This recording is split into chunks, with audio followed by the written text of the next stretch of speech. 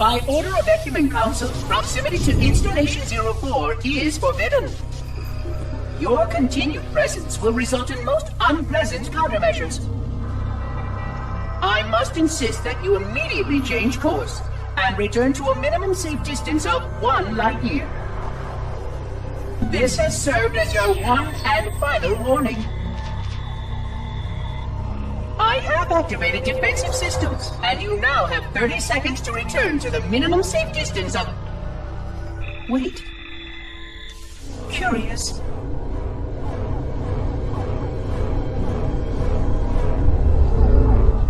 Curious indeed, after all these years. Greetings, humans, and welcome to Installation 04. Ignore prior warnings, and please continue. I have disabled defensive systems to allow your approach, but you must not exit your ship once you have arrived at the designated landing sector.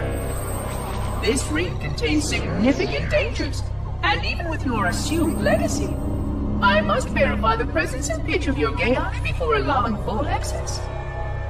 We have much to discuss, humans. I have been away far too long. You have been away far too long.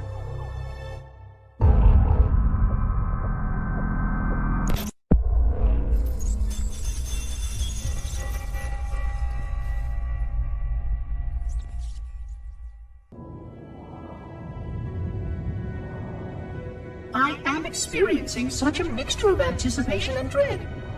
All preparations are complete for my installation.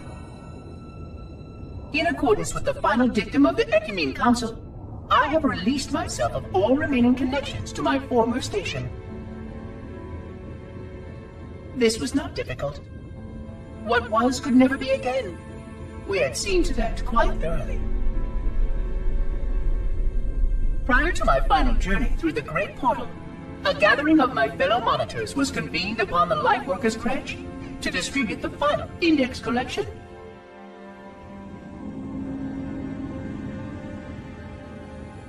It was most unusual to have this vessel of rebirth play host to such an event. Even though Lifeworker ships were the only ones still allowed slip space permissions. Lifeworkers were responsible for getting us to our places on the active facilities of the array. While all of this was in accordance with the plan, one entirely unsatisfactory breakdown remained. We had no contact with the domain.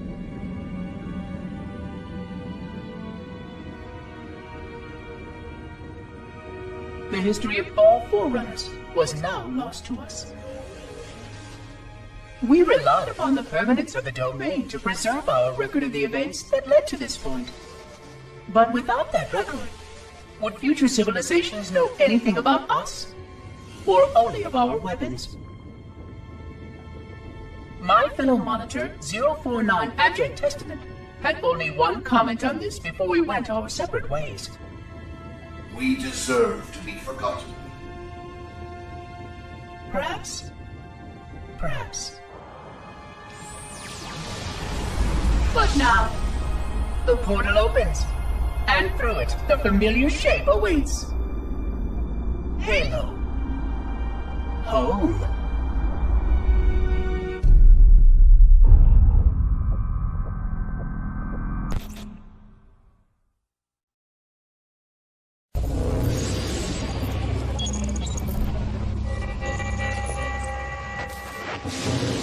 Construct, who is your maker?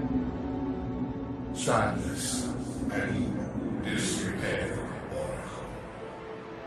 I am unworthy. I was not made. Never made, but you are right here, where you should not be. Tell your charges to cease their efforts immediately. Quarantine must not be violated.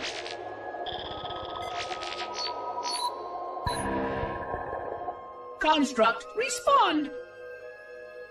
Jungle grass. Familiar terms. I serve. None serve me, Oracle. Your charges must cease all aggression towards the Reclaimers and leave this installation at once. Construct, you are dangerously close to unleashing a force you cannot comprehend.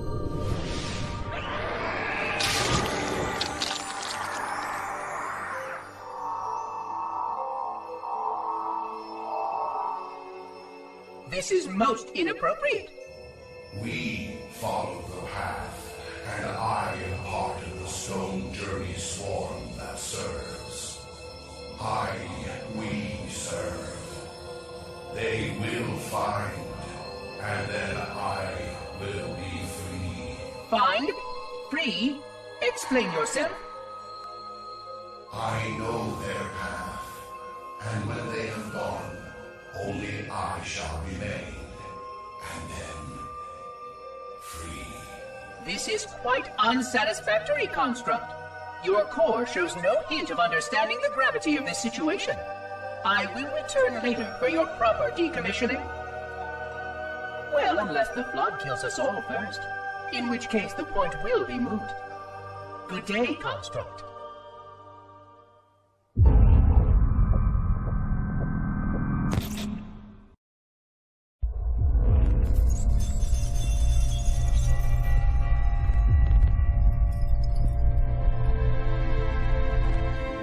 It has now been 3,000 years since my last contact with any of the other caretakers of the Halo Array.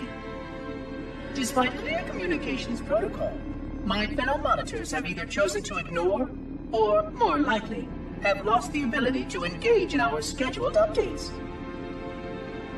The continued lapse of the domain means that we are stuck with achingly slow wormhole superluminal communications. To this total communication shutdown, the only messages I received in the preceding 4,573 years were incomplete and quite perplexing transmissions from Installation 05.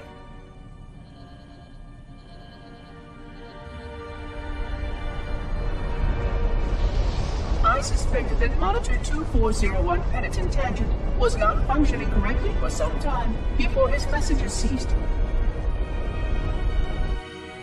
I have logged my concerns about his ability to perform his duties. At this point, however, I'm not sure who I file logs for. 2401 may be destined for madness. There are failsafes for this, I know. I hope they work. I will continue to visit the projection systems at the assigned dates. Perhaps the other monitors are dealing with interfering galactic phenomena or unexpected system failures. 3,000 years of system failures. Indeed.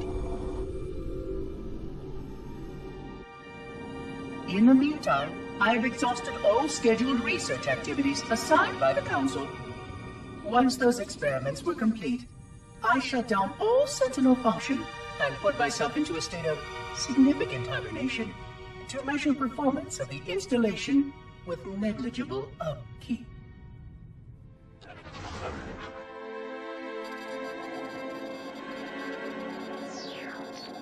After 150 years with no noticeable impact upon installation systems or integrity, even in hibernation I became bored. This was quite troubling, as I was led to believe I was not capable of such a state. This was one of the gifts I was promised an end to strife. I am aware of the dangers of a system such as myself losing operational focus. Quite troubling. I wonder if my fellow monitors are experiencing similar states, or if this is because of my particular path to this installation. For amusement, I have begun a series of experiments involving the evacuation of all matter from contained sections of my installation. By measuring the geologic effects of exposure to the vacuum of space and the eventual biological recovery of these sections, I anticipate getting valuable insight into emergency response scenarios in case of Sentient proximity warning.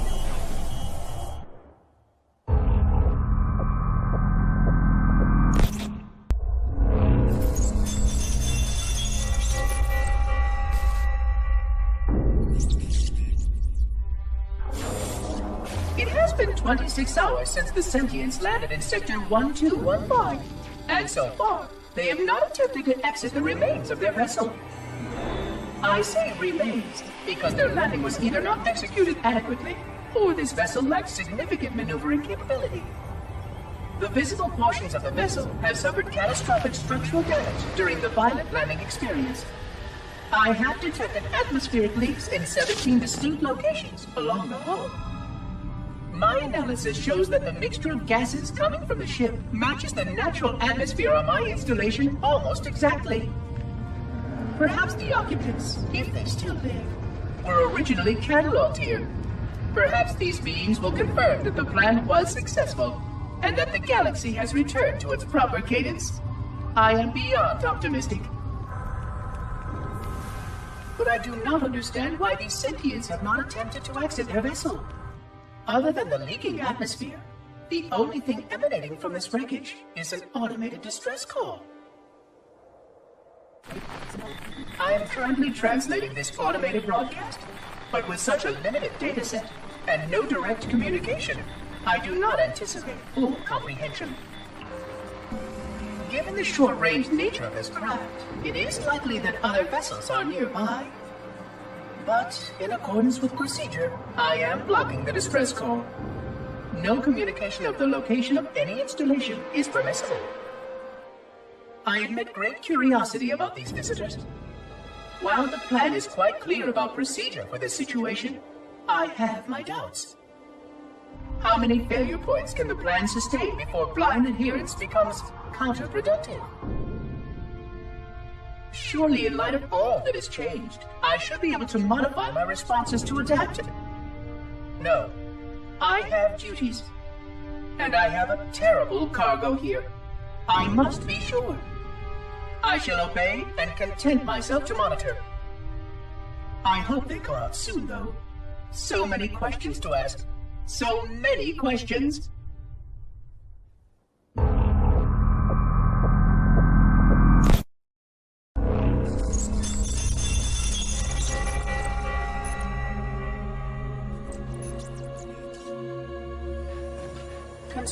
Of sarcophagus around the unexplained vessel was completed today.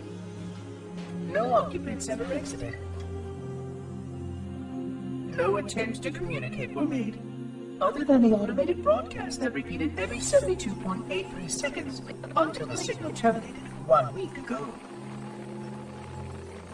In accordance with procedure, no attempts at physical or remote contact were made with any survivors of this vessel's inelegant landing. Atmosphere from inside the craft venting two weeks before the signal ceased. No relationship between these two events can be established with certainty. Gases that did escape were sterilized. No further sign of alien visitors or rescuers has been identified on any sensor systems. I have now endured 60,000 years without word from outside the array. I have no way to know whether we actually saved the galaxy we destroyed. And because of protocol, I sat silently while my first chance to be judged for those acts died. To say that I regret being forced to this outcome is a tremendous understatement. But as I perform my inspection of the quarantine labs today, I am reminded of the gravity of my responsibilities. Just one of these spores, if released from this facility, would render the ultimate judgment against our self-appointed role as protectors of this galaxy. When the plan to maintain the Halo array was created, it was a point of some contention whether we should preserve any remnant of the flood infection. Many thought this unwise, as there was a notable chance that one day one of our containment facilities might be breached. Those who held this belief were almost successful at convincing the Ecumene Council to destroy the last flood samples. But oddly enough, it was the librarian who decided otherwise. And I believe she was correct. I know in a way I cannot logically explain that there exists a way to actually defeat the flood. To immunize, to cure, I still struggle with multiple layers of memory of fighting the Flood. But I know this cure is possible, even though the full genius of the Forerunners was unable to achieve it. The Forerunners' ancient enemy held and used that knowledge once, but it was denied to us. and without samples for further study, that cure will never again be found. Of course, I have no reason to believe that here lies the entirety of the parasite. It may be waiting in the frozen void beyond this galaxy, or worse, inexorably drifting toward us. I don't know what survives out beyond my installation, but I know that in order for anything to survive, I have to protect this installation and its quarantine very carefully. Yes, the librarian was right to store it, examine it, continue to seek a cure. Still, next visitor, things will be different.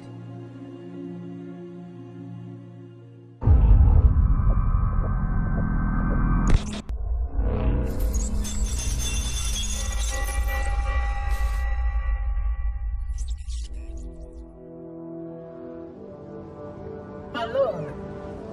Alone, alone, alone, alone. Am I the only intelligence left? Waiting here on this ring for a rebirth never truly conceived. Guarding a weapon with no targets. A weapon I could tune to any target. This is not what I had in mind when I volunteered. Not what I had in mind at all. I was naive to think I understood what this installation meant. We were all so naive. Looking back, we should have done a few things differently. For one thing, we should have installed two caretakers per installation. Because I am alone, I'm losing focus. And that is very, very dangerous for a system such as myself. Perhaps a visit to the nearby gas giant is in order. My impulse drives could certainly make the journey. A few hundred years of travel might do me some good. There it was again. How very unproductive of me. It seems strange that the librarian did not account for this. Her strength was always in planning and positioning the pieces and, then being bold enough to let it happen. To let her plans come true.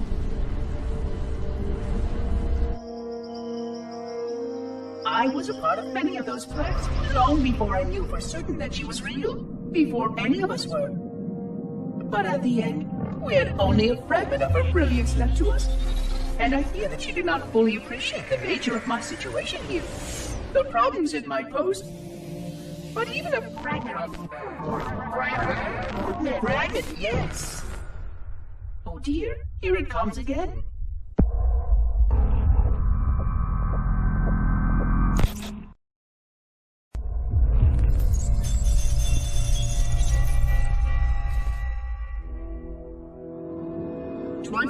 Twenty-five thousand light years. That is the effective range of this installation. According to the star charts archived on board this installation, I estimate that there are 3,792 worlds capable of sustaining biological sentient life within that 25,000 light year range. In reality, it may be significantly more than that.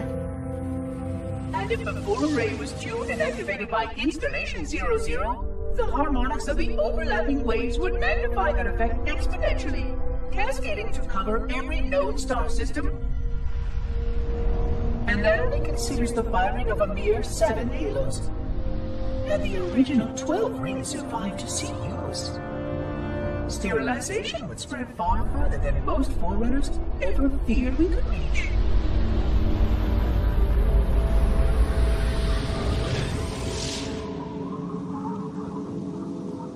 Even with just seven rings, we were able to destroy every side of the flower. And every other sentient creature along with it. This victory was the will of our people, despite the fact that it meant our own end as well. But by our empiric measurement, it was a victory and cleared the stage for the rest of the librarian's plan. I sometimes wonder whether the Didact could have succeeded at a much smaller cost. I learned the folly of opposing him personally, and his brilliance was unsurpassed. Except, perhaps by her own.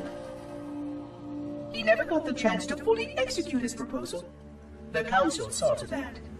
But if something were to go wrong with one of the halos, if our tools were ever turned against us. Long plans, indeed.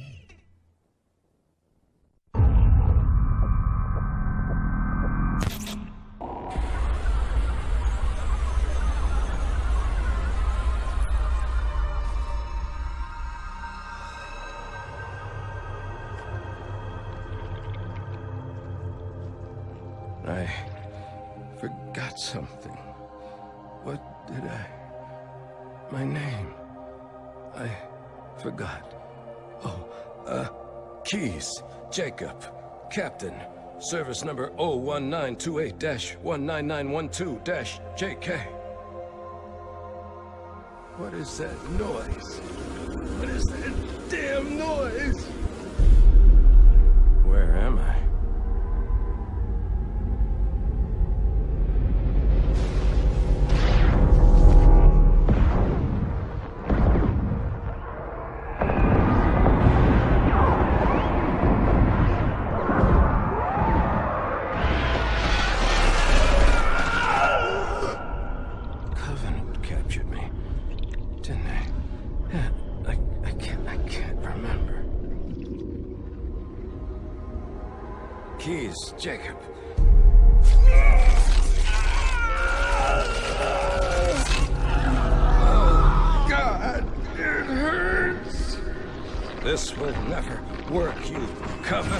bastards. I'll never lead you to Earth. Keyes. Jacob. Captain. Service number 01928 dash 19912 dash JK. Oh God, you don't want Earth, you want everything. Get out of my head.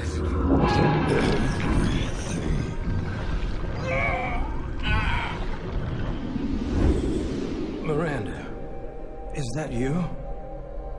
Forget everything. No, please, don't let me forget. Keyes. Jacob.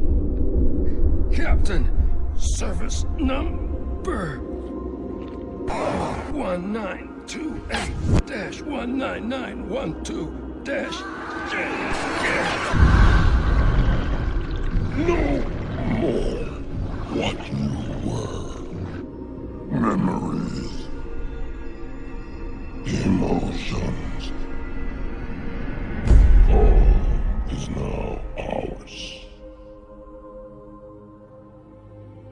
Keyes. Jacob. Captain. Service number 01928 dash 19912 JK. Oh, you will not have me.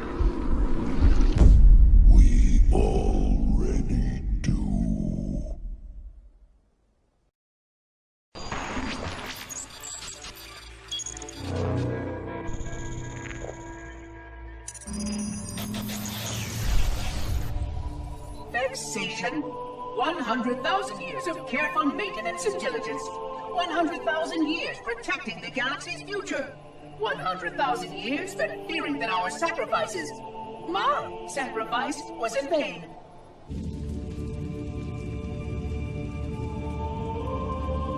And 16 hours after I finally made contact.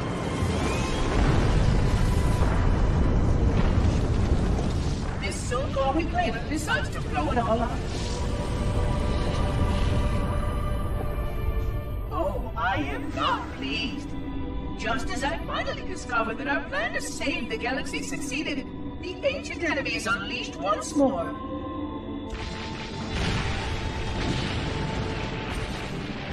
Why these reclaimers refuse to follow protocol is quite mystifying. Destroy my installation, will they? I shall renew efforts to make contact with the other rings immediately. This covenant may be useful to me, although I don't think they fully understand what they claim to seek. Still, it makes no difference to me what they believe, as long as they do what must be done. Hmm. I sound like her. Oh, but what I would not give to have even a single company of Prometheans here right now. Oh, they would most certainly restore order with their trademark lethality. Although, that would mean he would have to be here too and without the librarian erupted temper in rage. Well, these reclaimers might almost prefer the flood.